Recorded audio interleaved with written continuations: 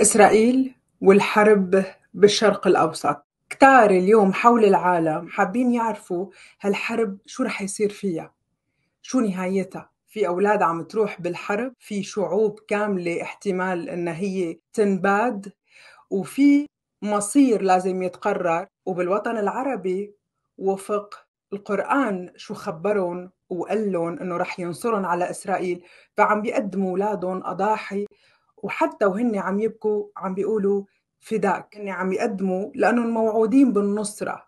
ولكن هل هالنصرة وهالوعد حقيقي كمسيحيين؟ نحن منتبع الرب يسوع المسيح ونتبع كلام الرب الإله لنا بالكتاب المقدس.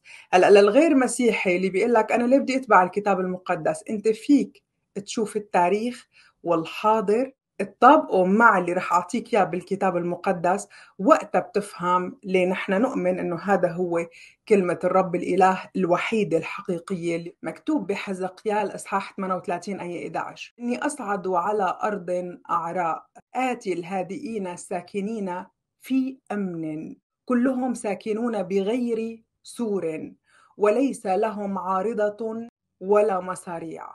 رح توصل إسرائيل لوقت لا في أسوار ولا في عوارض ولا في مصاريع ولا في مين يزعج. لتتحقق النبوءة. لازم ما يبقى لا عراق ولا مصر ولا سوريا. بقي ذراعين لإيران بهالمنطقة اللي هن حماس واللي هن حزب الله. مجرد هالذراعين ينقطعوا ما بقي مين يقول لإسرائيل بالمنطقة لا شو عم تعملوا ولا شيء بصير بدهم رضاها.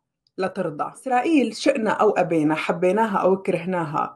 كل نبوءات العهد القديم والعهد الجديد لسفر الرؤيا مسكوب عليها. أول مرحلة مرقوا فيها بني إسرائيل هي الشتات وهذا الشتات تم عدة مرات. بسفر إرميا أصحاح 25 من أجل أنكم لم تسمعوا لكلامي ها أنا ذا أرسل فآخذ كل عشائر الشمال وإلى نبوخذ رسر عبدي ملك بابل.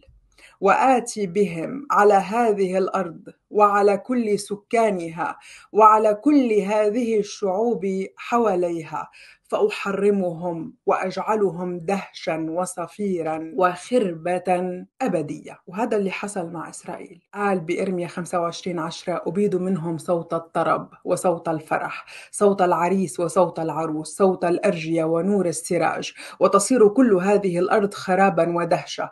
وتخدم هذه الشعوب ملك بابل سبعين سنة. وفعلا بحسب التاريخ تم حصار أورشليم سنة 597 قبل الميلاد وبدأ سبي بابل وتم تدمير الهيكل الأول على يد ملك الكلدانيين هيك لعادوا من السبي عام 538 قبل الميلاد وبدأوا أعمال بناء الهيكل مرة ثانية. عرف بهيكل زربابل لأنه هيكل سليمان الأول دمر بأكمله.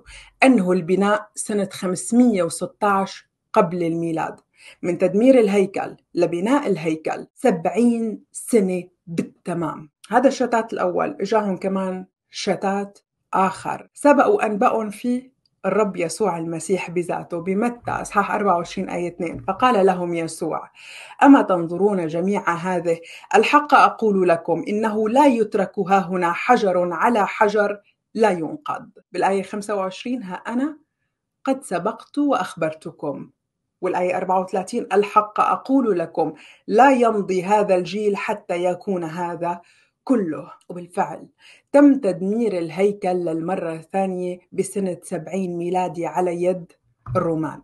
وتشتت بني إسرائيل للمرة الثانية بكل دول العالم. يعني الرب الإله بيعطي وعده ومنشوفه ثلاث مرات تماما كالشتات تماما كالعودة. والعودة كانت وكان في نبوءة لإلها.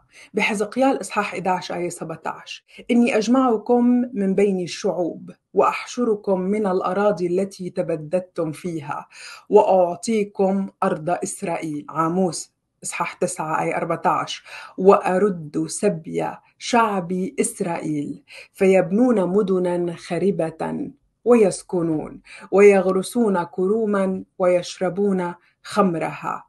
ويصنعون جنات ويأكلون أثمارها وأغرسهم في أرضهم ولن يقلعوا بعد. الرب الإله قال لن يقلعوا بعد. وعود الرب تمت وبتتم بالتمام. إعلان إسرائيل دولة مستقلة عام 1948 فهلأ بنشوف كمان الحرب مع الدول المجاورة. هي المرحلة الثالثة اللي رب الإله قال إنه بني إسرائيل رح يمروا فيها. زكريا إصحاح 12 آية 2 ها أنا ذا أجعل أورشليم كأس ترنح لجميع الشعوب حولها وأيضا على يهوذا تكون في حصار أورشليم ويكون في ذلك اليوم. أني أجعل أورشليم حجرا مشوالا لجميع الشعوب. وكل الذين يشيلونه ينشقون شقا ويجتمع عليها كل أمم الأرض. في ذلك اليوم يقول الرب أضرب كل فرس بالحيرة وراكبه بالجنون وأفتح عيني على بيت يهوذا وأضرب كل خيل الشعوب بالعمى. وهذا اللي حصل بعد عودة بني إسرائيل. كم حرب عملوا عليها الدول العربية حواليها؟ مضروبين بالعمى. لا في رأي يجمع العرب ولا في خطة عسكرية تنجح معهم ولا في قرار حكيم ممكن يتخذ بهذا الأمر. الدليل تعوا تفرجوا من وقت ما رجعت إسرائيل على هالمنطقة لحد اليوم. حارب العرب إسرائيل سنة 1948 انتهى الأمر بهزيمة العرب. أطلقوا عليها حرب النكبة. رجعوا سنة السبعة وستين. حرب الست أيام الشهيرة. احتلت إسرائيل شبه جزيرة سيناء وهضبت الجولان بالإضافة للضفة الغربية. 1970 حرب الاستنزاف. اضطروا يوقعوا على اتفاقيات مصر والأردن فقط إرضاء لإسرائيل.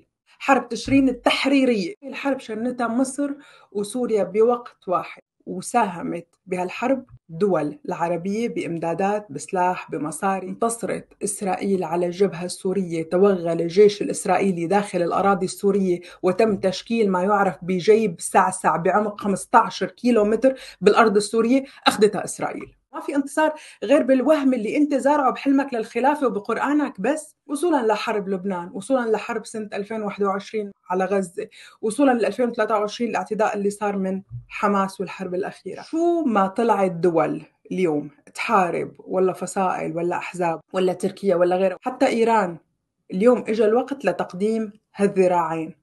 حماس شبه خالصة. بيان حزب الله. فبدهم ينتبهوا اللبنانيين ما تروح لبنان مع حزب الله. ومو تقدمة لرسالة وطنية مثل ما قنعوكم هي مو رسالة وطنية. هي رسالة الإسلام ومحمد بحربه مع اليهود. هو مو دفاع عن إسرائيل. بس ما في مقر بسوريا. ضربته إسرائيل غير لأنها كان عم يتصنع أسلحة فيه لصالح إيران أو لصالح حزب الله. في كاهن بلبنان طالع مقدم مشفى لحزب الله. بكرة بتنضرب مشفى بيقول لك آه إسرائيل عم يضربوا لنا مستشفيات ومدارس. القضايا الوطنية في حال بتصب بنفس كلام الكتاب المقدس على عيني وراسي من فوق. أما تيجي تخدم الشيطان وتنصر الله ورسوله وخلافة إسلامية إجتنا قبل بالسبي والغزوات ومكملة على الشعوب كلها بطريقة عنصرية. ما بيقبلوا حدا ما يكون عربي ما بيقبلوا حدا ما يكون مسلم. بتكون غبي إذا بتوقف معهم وبتقتنع أنه عدوكم واحد هو الإسرائيلي. أنت تابع للشيطان بذاته. سفر زكريا أصحاح 14 آية 12 هذه تكون الضربة التي يضرب بها الرب كل الشعوب الذين تجندوا على أورشليم. لحمهم يذوب وهم واقفون على أقدامهم وعيونهم تذوب في أوقابها ولسانهم يذوب في فمهم. هذا التفجيرات اللي عملتها إسرائيل لسه رح يلحقها سلاسل كتير. ذوبان البشر هي بفعل تفجيرات. وأسلحة نووية محرمة وغير محرمة. شو بعمل؟ أنا برجع للرب الإله. ما بشارك بشي بينصر الله ورسوله. هي من الآخر. في ضيقة عظيمة رح تجي لإسرائيل بآخر الزمن. بس مو من العرب مو من حزب الله وهالقرطة. هذا اللي عم نحكي نحن عن ملك روش وروسيا لما رح يجتمعوا مع دول عظمى بالعالم ويحيطوا بإسرائيل بالمدينة العظيمة ويدكوها ثلاث سنين ونص ويكون في ضيقة عظيمة على إسرائيل. حتى بهداك الوقت انتبه ما لهم نصره هي بتكون خلص انتهى الزمن. فهلأ النبوءة اللي عم بتتم حزقيال 38 11 عم يتم التأسيس لدولة إسرائيل لتكون بدون سور بدون عارضة بدون مصاريع بدون حدا يزعج.